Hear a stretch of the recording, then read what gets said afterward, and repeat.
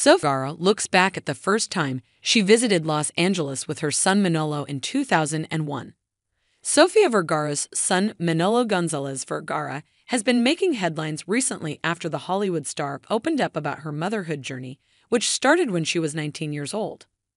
The Colombian icon decided to look back at a special moment with her son, reminiscing about the time he was with her in Los Angeles for the very first time. The actress took to Instagram to share a photo of the mother son duo in Los Angeles, visiting the Hollywood Walk of Fame. Sofia was all smiles with Manolo, posing in front of Tom Cruise's star. Throwback to 2001, the first time Manolo came to LA. She wrote on Instagram, adding a photo of them in 2015 when she received her own star. Throwback to 2015, celebrating with him, me getting my Walk of Fame star. Love you, she wrote.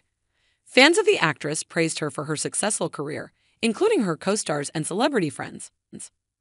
This is incredible, Jesse Tyler Ferguson commented, while someone else commented, Dreams come true.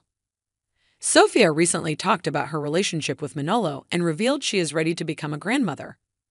I think I'll be a fun grandmother, she said to People magazine, adding that she wants her grandkids to call her abuela. Sofia also said that she has had a little practice taking care of her son, Manolo Vergara's adorable pup.